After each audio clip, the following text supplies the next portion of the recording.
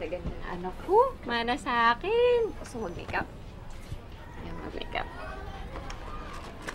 Meron ako dito. Ay, powder lang. Dito lang. para maganda ka para si mama. Oh, diba? Ang Sandali, ha?